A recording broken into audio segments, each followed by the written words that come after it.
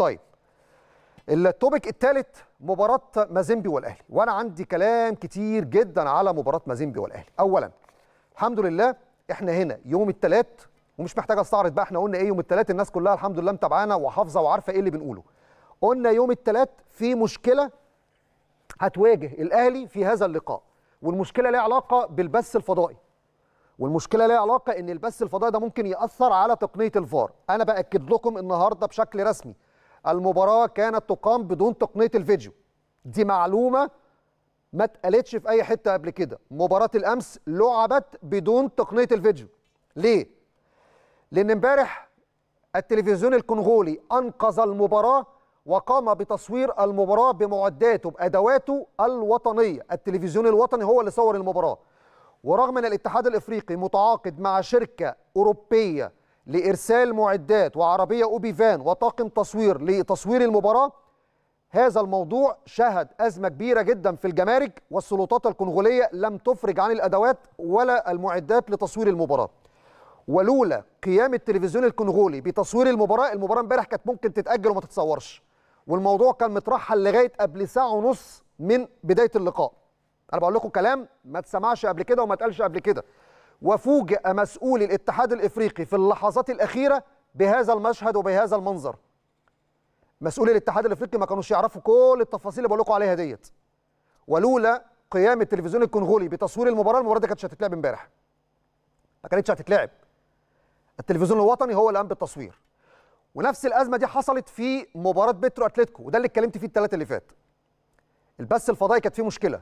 الكاميرات الزوايا كانت بتقطع فيها كتير. وعلى هذا هذا الأساس الفار ما اشتغلش كتير. طيب هل الموضوع انتهى؟ لا. بعد المباراة امبارح حصل تحرك كبير جدا وفي خطابات تم إرسالها بخصوص هذا الموضوع وأعتقد في حاجتين هيحصلوا.